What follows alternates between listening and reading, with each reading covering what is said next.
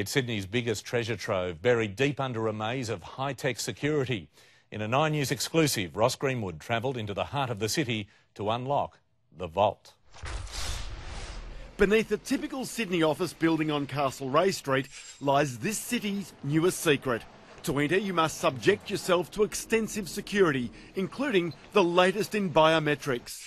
It's necessary because inside lies immense private wealth, hidden away behind individual box numbers. So without your key, I can't open it, and without my key, you can't open it. No doubt your imagination's already taken you to every great safe cracking movie. A lot of people get mixed up with the movies. But this private facility offers something even the banks don't insurance. The first $10,000 worth is free.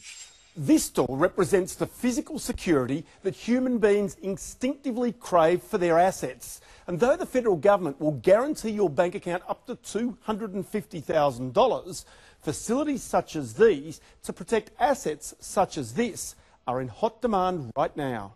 People have, through the millennia, have always rushed back toward gold and silver because they always have been money.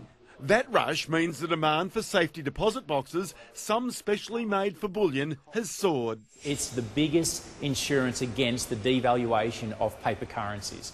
And the recent bank crisis highlights the desire for gold. You could walk into any uh, precious metal, any coin shop, and they would whip out $100 bills. But in this vault, it's not just precious metals. It could be documents, it could be photographs, it could be discs, it could be heirlooms. And it's not as expensive as you think. The smallest box starts at $22 a month.